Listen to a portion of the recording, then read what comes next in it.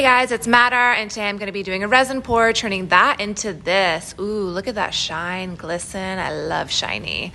So first we start by mixing the resin. It smells really bad, but I promise you it's not bad for you. Give it a little mixy mix mix, and then we pour. Oof, that looks so satisfying. We spread it around, nice and even. Look at it glisten, and now it's time for the fire. Look at all the bubbles disappear. This is super important. We don't want any bubbles. Okay, bye bubbles. See you later. Bubbles, bubbles, no more bubbles. Adding in the fire, and voila, we're done.